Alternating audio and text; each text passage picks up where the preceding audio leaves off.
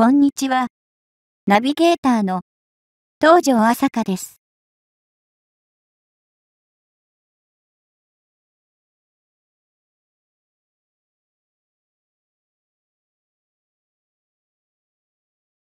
ちょっと驚きの中期国防計画があの国から公表されました。韓国ですが、この中身でこの金額を今後数年で使うというのです。空母から潜水艦まで中身は詰め込んでいる状況。今回は、この韓国中期国防計画を少し詳しく見ていきますね。でも、計画はいいとして作れるのかな？疑問だよね。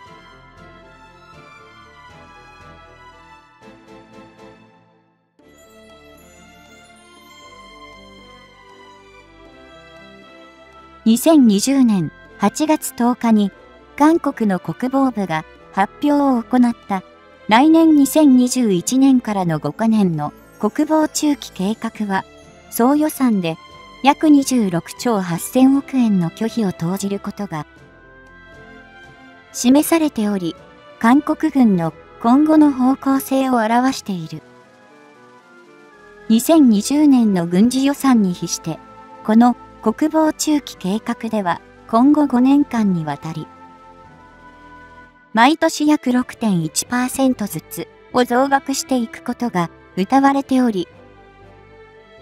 航空母艦や原子力潜水艦などもこの中に組み込まれている。こうしたインパクトのある兵器だけでなく、北朝鮮と隣接する韓国だけに、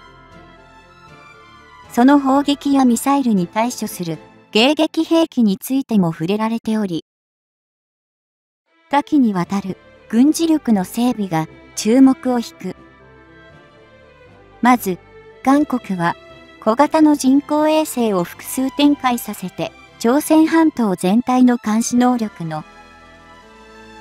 強化を図ることを打ち出しており、2020年代後半での実現とそれによる30分単位での監視体制を構築するとしている。これは上空 500km 付近の比較的低位置に小型の人工衛星を配置し、さらに純国産の無人航空機 MUAV とを連携させた。リアルタイムな監視網で朝鮮半島全体をカバーする計画だ。計算上は、ここに合計36個の小型衛星を配備できれば、北朝鮮を含めた。朝鮮半島全体の監視を30分ごとに把握することが可能となるとされており、北朝鮮の軍事行動の牽制に期待が持たれている。また、敵ミサイルの迎撃を行うロシア製の S400 に近いとも言われる。韓国独自の長距離防空ミサイルシステム LSAM の本格的な開発も、今回の計画の中で改めて触れられている。この長距離防空ミサイルシステム LSAM は終末段階に達した敵の弾道ミサイルを上層部で迎撃するミサイルと航空機や巡航ミサイルに向けた迎撃ミサイルの2種類を運用することが可能とされる。この点がアメリカ軍が持つサードと異なり、どちらかといえば、ロシア製の S400 に近いミサイルシステムだと LSAM が呼ばれるゆえんであり、ミサイル防衛に不安のある日本でも、注目されている。そして、北朝鮮と地続きゆえに300門を超える長距離砲の脅威に、さらされている韓国で、それを防ぐ防御システムとして、打ち出されているのが、韓国版、アイアンドームとも呼ばれる迎撃兵器だ。本家のアイアンドームとはイスラエルが完成させている。防空システムで比較的小型で短い射程のロケット弾、迫撃砲弾を迎撃可能なものとして、また、迎撃率もおよそ9割とも言われている。かつて、韓国自体も、このイスラエル製のアイアンドームの調達を、検討したこともあったが、小規模な敵勢力がゲリラな攻勢を仕掛けてくることに向けたこのシステムは不向きと判断された経緯があった。前述のように、北朝鮮は300門を超える長距離砲を韓国に向けており、有事の際には、これらから実に1時間で1万発以上の砲撃を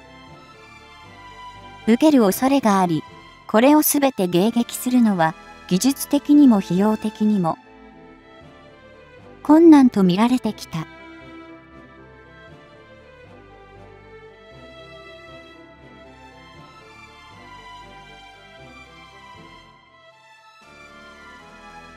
それが今回開発が進められるということは、こうしたウィークポイントを覆し、費用対効果に見合う低価格で、新たな迎撃システムを構築することが可能だと韓国軍側が判断したということなのだろう。もし、これが本当にこうした状況下でも有効な防空システムとして完成するのであれば、自国で戦車や潜水艦などを製造できない国を中心に武器輸出を進めている韓国の新たな輸出兵器となるかもしれない。さて、韓国の国防中期計画だが、ここでは3万トン級の航空母艦の建造も謳われており、これまで主に中国をいたずらに刺激することを恐れてか大型輸送艦と表現していた姿勢を改めたことが伺える。しかし、この変更の最大の理由は、海上自衛隊が護衛艦、出雲、加賀の航空母艦化の改修を進めていることへの対抗策とも見られており、対日対応を前面に出すことで、世論の反発を抑える意図が透けて見える。3万トン級の軽航空母艦と名称自体は言うものの、これまで2隻を収益させている徳島級揚陸艦を拡大した艦用であると見られており、他国の艦種、艦級に習うならば、強襲揚陸艦に相当する。艦艇ではないだろうか。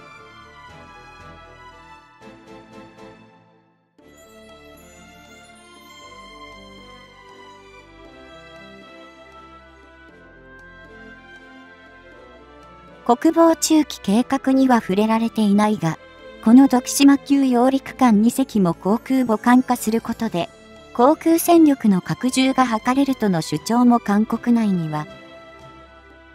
散見されるようだが、これも、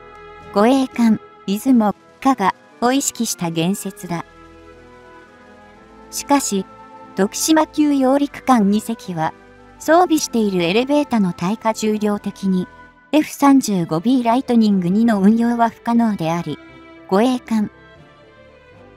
出雲、加賀のように飛行甲板の回収で同期の運用能力を得ることは難しい。最後に韓国の原子力潜水艦であるが、こちらは現在建造中のトサンアンチャン補給潜水艦のバッジ3と呼称される艦艇を現状の通常動力型から原子力推進型に変更する計画のようだ。韓国の現ムン・ジェイン政権は、この原子力潜水艦の導入を公約に掲げているものの、技術的な建造の可否以前に韓米原子力協定に抵触するため、それを実現することは難しいとの見方も多い。